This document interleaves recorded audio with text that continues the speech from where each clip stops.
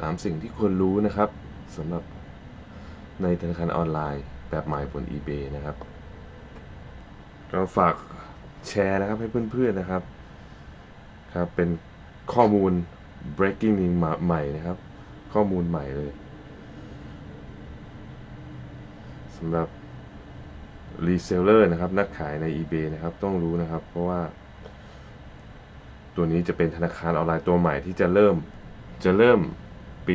2021 นะครับ 2021อ่าบริษัทใหม่เนี่ยชื่อ a d g e n นะครับ เอาข้อแรกเลย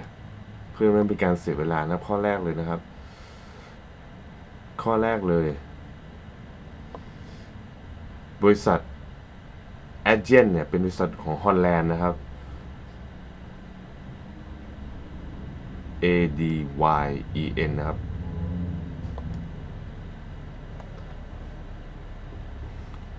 บริษัทเขามีศักยภาพพอไหม ที่จะที่จะมาดูแลธนาคารออนไลน์แบบใหม่ของ eBay เนี่ยไหม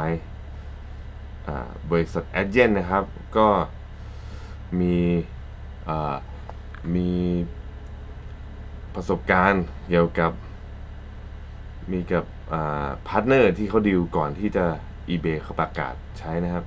ก็จะมี Netflix นะครับ Uber นะครับ Spotify ก็คือ Spotify คืออเพลงออนไลน์นะ เพลงในแอปพลิเคชันนะครับ แล้วก็เยอะแยะมากมายนะครับ เยอะแยะมากมายเขามีประสบการณ์นะครับเดี๋ยวผมตัดไปให้ดูหน้าของเว็บเขานะฮะตัวนี้นะฮะอ่านี่ครับ A D Y E N นะครับ ข้อแรกนะครับ บริษัทนี้เป็นเป็นยังไงครับ บริษัท Payment เขามีศักยภาพมากขนาดไหนนะข้อแรกก็คือเขาก็มี partner เนี่ยเยอะพอสมควร Uber นะครับต้องยกตัวอย่าง Uber ก่อน Uber เนี่ยเป็นบริษัทเมืองคนไทยคงรู้ครับเป็นเป็นเกี่ยวกับรถนะครับ ที่สามารถเรียกทางแอปพลิเคชันเลย Uber เป็นบริษัทบริษัทหนึ่งผมจะยกตัวอย่างนะครับ ว่าบริษัทนี้ใหญ่ขนาดไหน เป็นบริษัทที่เติบโตเร็วที่สุด ผมน่าจะมา 3 ปีแล้ว3ปีที่แล้วนะครับ เป็นบริษัทที่เติบโตเร็วที่สุด บริษัทหนึ่งครับใน 3 ปีที่แล้วนะครับ Uber รู้อยู่นะว่าตัวนี้ก็ใช้ไปทั่วโลกนะครับ ไม่ว่าประเทศไทยหรือประเทศต่างชาตินะครับ ใช้ไปทั่วโลกก็เป็นการใช้เรียกแบบแอปพลิเคชันนะครับ แล้วก็เราสามารถไม่ต้องจ่ายเงินเลย แล้วก็จ่ายเงินทางออนไลน์ได้เลยนะครับ Uber นะครับ เป็นบริษัทที่โตเร็วที่สุดบริษัทหนึ่งใน 3 ปีที่แล้วนะครับนี่ครับเขาใช้บริการของ a g e n t เนี่ยนะครับ Netflix นะครับ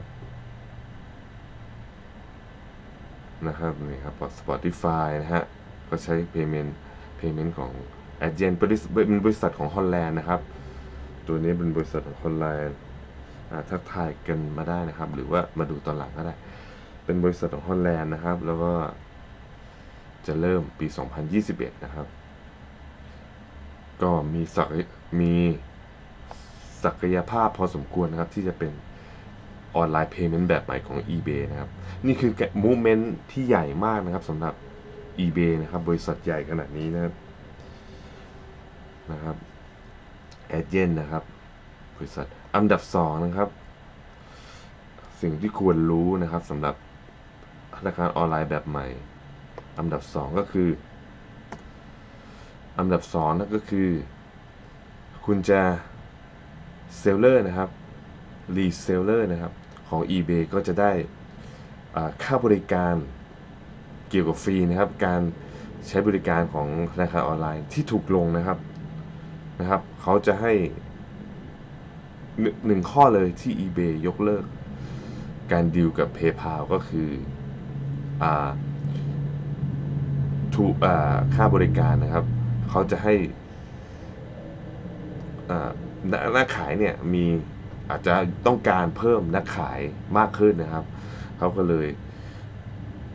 ให้บริการดีลกับ Adyen เนี่ยครับดีลค่าบริการของ seller ที่ถูกลงนะฮะอยากอาจจะเพิ่ม seller นะครับ อาจจะเป็นผู้ซื้อด้วยนะครับ น่าจะเป็นอย่างนั้นผู้ซื้อแต่ผู้ซื้อของ PayPal เขาไม่เสียอยู่แล้ว ไม่เสียค่าบริการอะไรอยู่แล้วนะครับ แต่ว่า สำหรับเอเจนต์เนี่ยเขาต้องการลดค่าค่าช่วยช่วยนักขายเนี่ยให้มีค่าใช้จ่ายน้อยลงนะครับเอเจนต์นะครับ ส่วนอันดับ 3 นะครับที่ควรรู้เกี่ยวกับธนาคารออนไลน์แบบใหม่นะครับ อันดับสองอันดับแรกอะผมทบทบทวนให้ศักยภาพของเขานะครับ มีประสบการณ์พอสมควรอันดับสองก็คืออาเขาจะ มีค่าใช้จ่ายของนักขายของ eBay ค่าบริการที่ถูกลงนะอันดับ 3 นะครับ ตัวนั้อันดับ 3 ก็เขาจะเพิ่ม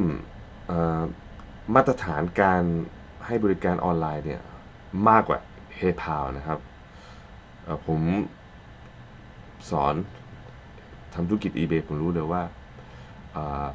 นักขายและคนผู้ซื้อเอาเอาผู้ซื้อของของใน eBay นะบางคนไม่มีไม่รู้จัก PayPal ด้วยซ้ำนะเพราะว่าบางคนไม่ได้สมัคร PayPal นะฮะแล้วก็ไม่สมัคร PayPal ก็ไม่สามารถจ่าย PayPal ได้ก็คือเอาใหม่ ก็คือข้อ 3 เอาใหม่นะครับข้อ 3เขาก็จะเพิ่มช่องทางสำหรับผู้ซื้อมากขึ้น เพราะ PayPal มากขึ้นเหมือนว่ามีบัตรเครดิต ก็อาจจะใช้จ่ายในเพจ eBay ได้นะฮะสำหรับธนาคารออนไลน์แบบใหม่นะครับของ a g e n t เนี่ยนะครับไม่มีฟีดแบ็กของ a g e n t เนี่ยนะครับก็คือ เขาจะเพิ่มช่องทางเนี่ยมากขึ้น มากขึ้นกว่า PayPal อ่านี่คือ ควรรู้ข้อควรรู้ข้อที่3นะครับเขาจะเพิ่มขีดจำกัดได้มากขึ้น นะครับสำหรับคนมีบัตรเครดิตอาจจะจ่ายอันนี้ยกตัวอย่างนะอาจจะจ่ายได้ ไม่ต้องไม่ต้องเหมือน PayPal นะครับ ที่ต้องต้องสมัครต้องเข้า Activate ผมคิดว่าอย่างนั้นนะเขาเหตุผลก็คือที่เขายกเลิกการดีลกับ PayPal อีกข้อหนึ่งก็คือการที่ PayPal เนี่ยจำกัดจำกัดเกี่ยวกับผู้ซื้อเนี่ยมากมากกว่า บางอย่างใน PayPal ทำไม่ได้เหมือนออนไลน์เพย์เมนต์แบบอื่นนะครับ ก็อันนี้เป็นข้อสามนะครับ ก็จะมีช่องทางมากขึ้น ให้เลือกมากขึ้นสำหรับผู้ซื้อนะครับนะครับก็เป็น 3 ข้อนะครับ ที่ควรรู้กับธนาคารออนไลน์แบบใหม่บน eBay นะครับ ก็เป็นมุมการเคลื่อนไหวที่ใหญ่มากสำหรับ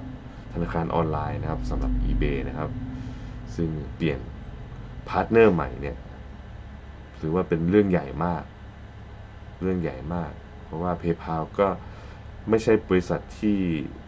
มีชื่อเอ่อไม่ใช่ก็มีชื่อระดับสูงเลยนะครับ